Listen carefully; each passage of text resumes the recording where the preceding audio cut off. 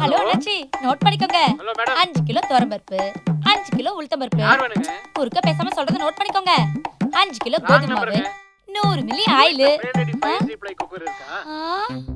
அட ஆமா. எப்படி கண்டுபிடிச்சீங்க நான் ஷெஃப் தாம பேசுறேன். ஒரே lady five and cooker use ஆயில ரொம்ப கம்மியாக வாங்குவாங்க. சுறுசுறுப்பாகவும் ஆரோக்கியமாகவும் இருப்பாங்க. நம்ம ஆரோக்கியத்துக்கு பிரேலேட்